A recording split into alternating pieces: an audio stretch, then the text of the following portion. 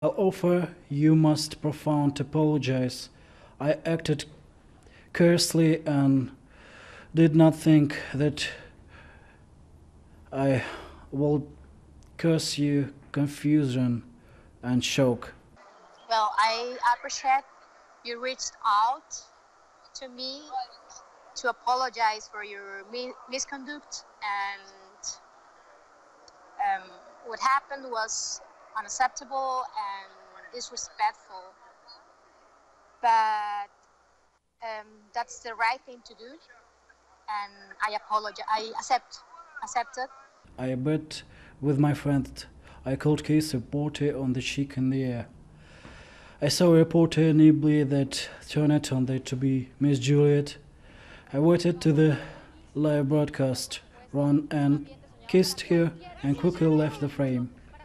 I thought I put my hand on her shoulder, but apparently I missed her little and touched her chest with my left hand.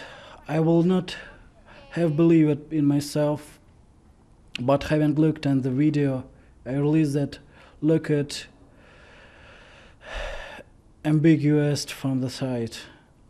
There has been a stir around that misinterpreted and unsuccessful with a kiss on the cheek turned into sexual harassment. Once again, I apologize. I know that your job is very hard, and I hope that you will never face another such incident in your career. I'm really sorry. I refuse to be a victim. I just want to, to continue with my job, reporting about football, um, about the joy and emotions of this great event.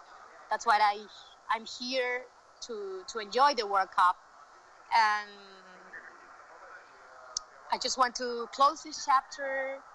And I wish you the best.